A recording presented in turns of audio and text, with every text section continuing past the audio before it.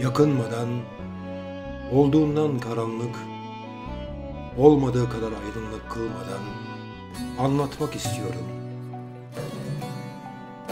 Gaziantep'te bir sabah ezanı berraklığıyla, İzmir'de bir gün batımı hüznüyle anlatmak istiyorum.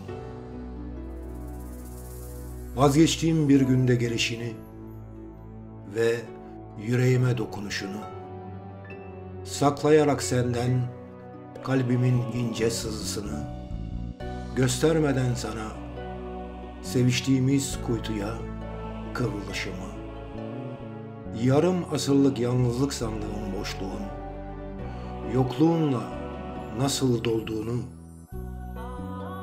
sana vermeden gözyaşlarımla sulanmış nergisleri, sabahın köründe buğulu taksi camından benim boynuma yol asıldı. Boşumda yüreğinin kokusu kaldı. Utanmadan itiraf ediyorum.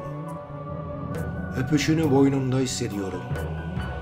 Sütlü menengiç kahvesi sıcaklığında. İçimde devasa bir ürküntü. Yine de içimde sıcak bir bozlak türküsü. Ağlamak istiyorum. Hayal kuşlarıma örülen kafesleri kıra kıra ağlamak istiyorum.